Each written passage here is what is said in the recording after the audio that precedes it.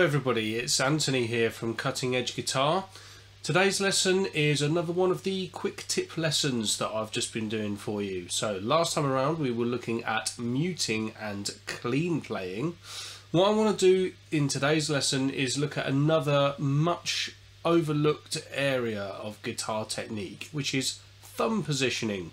Hence why I've got the camera that's looking at the back of my guitar neck here. So thumb positioning is really important when you're playing certain lead styles. Like um, in some recent lessons, I've just been doing some legato tutorials. So when you're playing things like this, something that makes that really hard for people to do is if they've got their thumb too high. So what I want to do is I'm just going to play a few things and um, I'm just going to start moving around the neck so you can see where my thumb is as I'm doing it. Okay, here we go.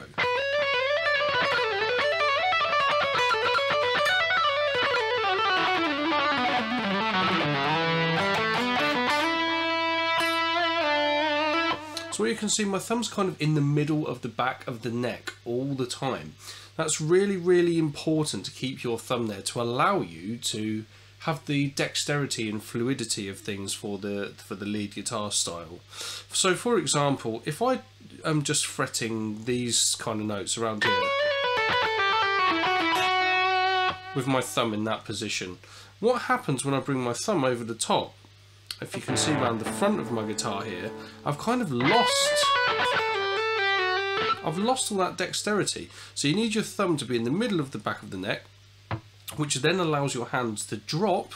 So it's uh, the cup of the hand has space between the bottom of the guitar's neck here and uh, as I say the cup of the hand. So when you're fretting you're now fretting on your fingertips there's space between all of your fingers space between the bottom of the guitar neck and the cup of the hand. Thumb in a nice comfortable position and now I can reach everything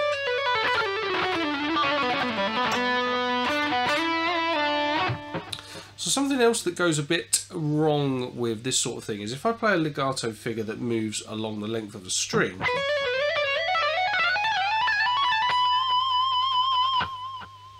um, I've seen players do this sort of thing quite a lot.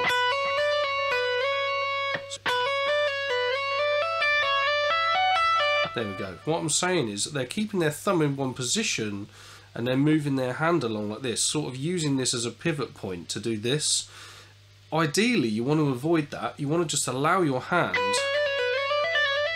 to move as a unit. So uh, wherever I am, I've always got my, my thumb kind of central to where my fingers are.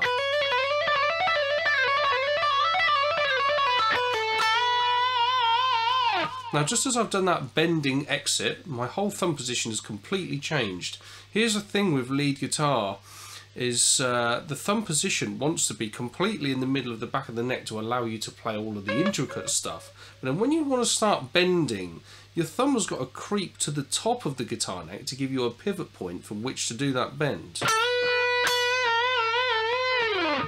Which is obviously it's a bit of a tricky thing with the electric guitar that we want to have this thumb position for one style of playing, this thumb positioning for another style of playing but it kind of is what it is. If you want to be accurate, you want to sound good, you've got to move your thumb around to suit these different points. Um, it's not just about the lead stuff though, from a rhythm perspective, when you're playing power chords, my thumb's kind of in that same position to allow that nice comfortable fretting hand. And also with a lot of beginners when I'm teaching, uh, bar chords are a real pain people really, really struggle to get bar chords down. And again, a lot of that is to do with thumb positioning. So if I now play, as I'm doing those bar chords, just standard major bar chords moving up and down the neck, if you see where my thumb positioning is,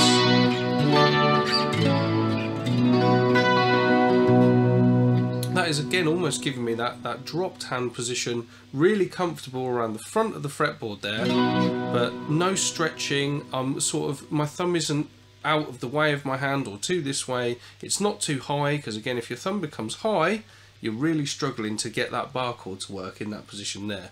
So get that thumb in the middle of the back of the neck, and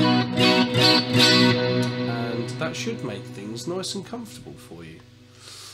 Okay guys, that's today's quick tip. I hope that's uh, been useful for you. If you've got any other quick tip ideas that you think that uh, you'd like to know about and you want to suggest them for me, drop me a line in the comments. Um, that's it for now. Make sure you subscribe. Take care, and I'll see you in the next lesson.